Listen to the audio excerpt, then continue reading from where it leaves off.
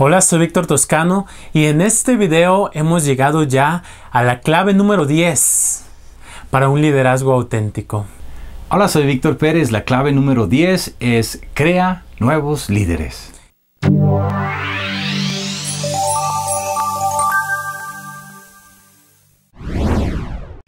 Y en este momento, antes de pasar a explicarte de qué trata esta clave número 10 y cómo la puedes aplicar y sobre todo en qué te va a ayudar, queremos darte las gracias por estarnos siguiendo en esta serie de 10 videos donde hemos compartido estas claves de liderazgo que vienen más que nada de nuestra experiencia, de lo que hemos estado haciendo con este proyecto maravilloso que estamos realizando a través de internet y con el objetivo de que a lo mejor no es un curso muy detallado, no vamos muy a fondo en todo lo que abarca el liderazgo, pero que queremos que te sirva como base.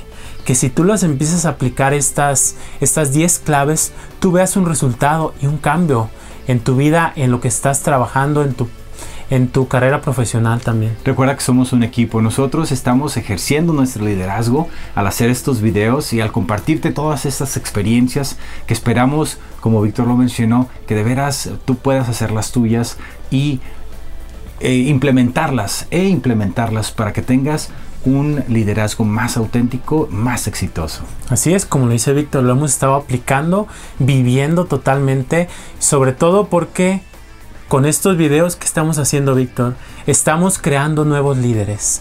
Que ese es nuestro objetivo. Queremos que tú seas un líder.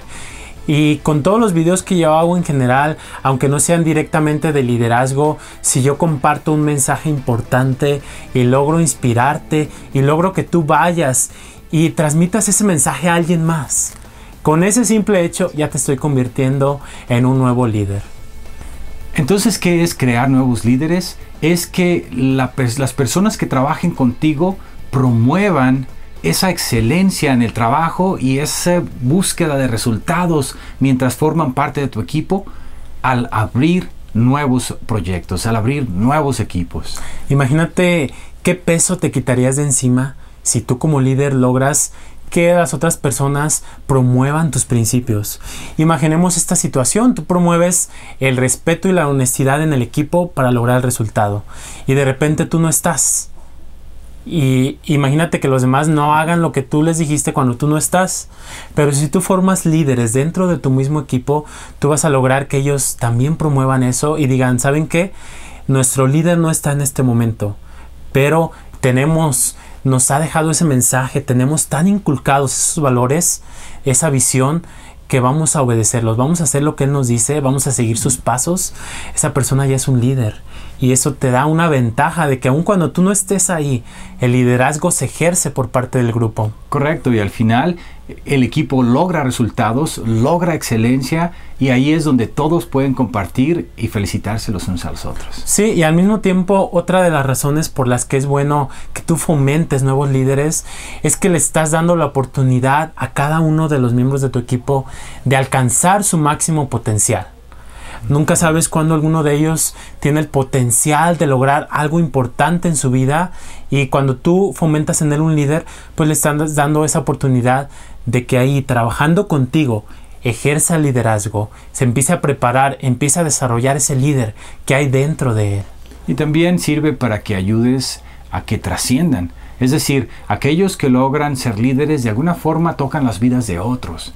Y siempre el tener estas metas y esta visión de que tu trabajo beneficia a otros, que tu trabajo es una misión más grande que tú mismo, es algo que nos inspira como seres humanos a trascender y a crear más esta acción y esta ola positiva que se transmite de unos a otros. Claro que sí, porque imagina que tú logras esa trascendencia de que lo que tú promueves, después otras personas lo promueven. Simplemente a veces me pongo a pensar, Víctor, si nosotros enseñamos a una persona a hablar bien en público, ¿qué es lo que esa persona va a hacer? Pues sus ideales, su mensaje, lo va a transmitir con mucha pasión, va a influir en muchas personas y de manera indirecta nosotros estamos influyendo en todas esas personas. Eso es trascendencia y eso tú lo puedes lograr si aplicas esto que te enseñamos, si tú formas nuevos líderes, si enseñas a los demás, transmites tu mensaje con pasión, estás dejando tu huella en este mundo. ¿Cómo vas a lograr eso?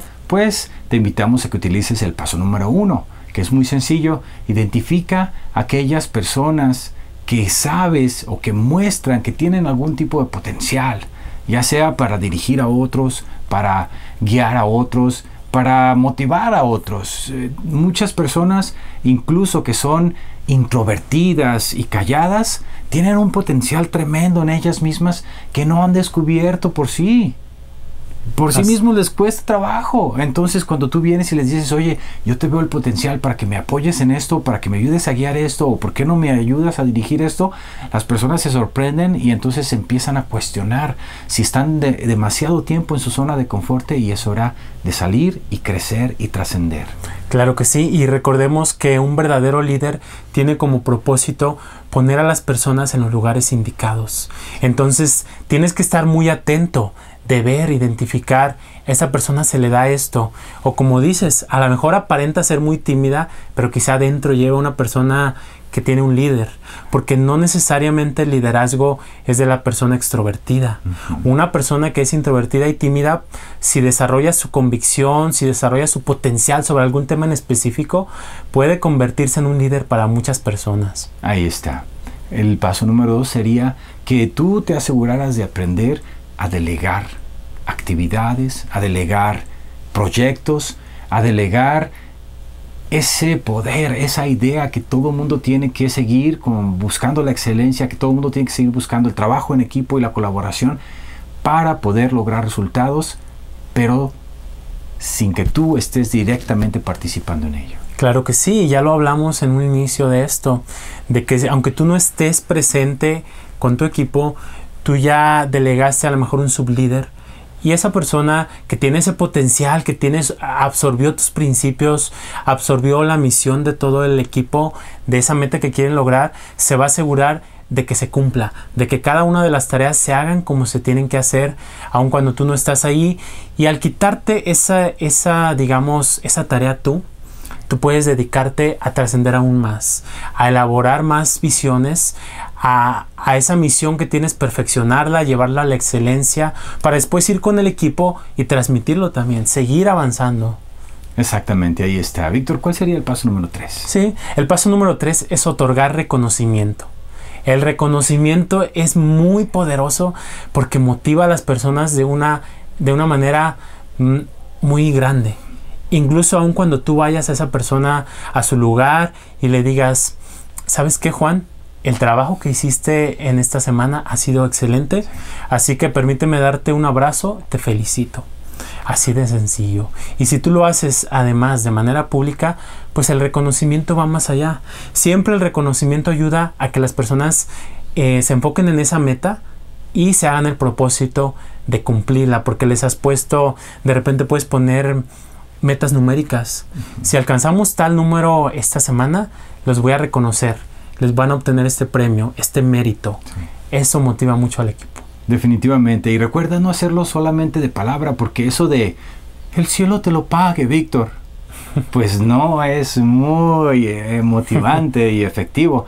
Vas a buscar trabajar con las personas para que ellos logren ascensos, para que ellos logren reconocimientos eh, monetarios, si es posible, o de alguna forma tangibles, que vean que sus acciones cuentan y que los resultados que logran y que la excelencia que logran tiene una representación física en este mundo que pueden ellos hacer suya y que pueden hacerles sentir muy especiales. Claro que sí.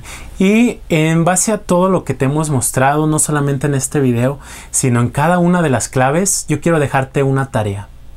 Esta tarea consiste en que tú vas a analizar ¿Cuáles son aquellas situaciones de tu vida que te han frustrado, que te han causado problemas? Y en base a eso, ¿qué cambio a ti te gustaría ver en la sociedad? Imagínate, ¿qué cambio te gustaría ver? Puedes elaborar en base a eso un pequeño plan donde tú digas, a mí me gustaría que la sociedad fuera más honesta, que hubiera más valores. Y en base a eso, tú empezar a formar pequeños líderes, empezando a lo mejor con las personas que te rodean. ¿Sabes qué, eh, Víctor? Eh, he notado que, que, tú puedes fomentar más este valor en ti o que, que, tienes mucho respeto por los demás, que eres muy honesto, te felicito. ¿Qué opinas de los valores? ¿Qué opinas de, de que la sociedad tiene que vivir más en valores? y de esa manera yo te inspiro, te puedo compartir también mi historia y formo en ti un nuevo líder. Y a lo mejor te invito a que tú hagas lo mismo. Ve y comparte con otra persona y dile, oye, ¿qué opinas de los valores? Hay que fomentar los valores. Y se crea este efecto, ¿cómo le llamas, Víctor? Sí, de... Una cadena, como una cadena de favores donde eh, se hace toda una onda expansiva, ¿verdad? Una expansiva, efectivamente, así es. Eh, recuerda que lo que estamos hablando y lo que queremos que te lleves más en la mente al cerrar con este número 10 es la información no es igual a la acción. Sí, y nosotros no sabemos en qué acción estás, qué meta estás cumpliendo, no sabemos dónde trabajas, a lo mejor estás escribiendo un libro, a lo mejor estás eh, como jefe en un área de personas, a lo mejor no eres jefe de nadie, a lo mejor eres un estudiante, pero ahí donde tú te encuentras, sin importar las circunstancias, puedes ejercer el liderazgo. Y a lo mejor tienes un proyecto que has dejado en tu mente por mucho tiempo, que nunca has concretado. Esta es tu oportunidad de hacer la tarea que te acabamos de decir, de que tú definas cuál es el cambio que quieres ver, retoma tu proyecto, hazlo con estas, con estas claves de liderazgo y tú vas a ver un resultado, sobre todo al formar nuevos líderes líderes vas a estar trascendiendo. Y esa visión que tienes ahí guardada en tu mente va a ser una realidad aun cuando tú ya no estés en este mundo va a haber mucha gente que tú ayudaste que lo va a seguir promoviendo. Imagínate esa trascendencia esa huella que puedes llegar a dejar muy bien, eso es todo por este video y por esta serie de 10 videos, pero no te preocupes, vamos a seguir publicando videos de temas relacionados a este y otros temas no tanto, pero que seguramente te van a ayudar a ser una mejor persona, a ser más feliz y a lograr las metas que tienes. Si te gustó este video, dale un me gusta, déjanos un comentario cómo te ayudó este video cómo te ayudaron estos, esta serie de 10 videos. Si no has visto los anteriores, te recomiendo altamente que los veas. Cada uno de ellos tiene una clave muy importante y en ese orden, clave 1, 2, hasta esta que es la clave número 10, te van a ayudar mucho si los aplicas. Y déjanos un comentario.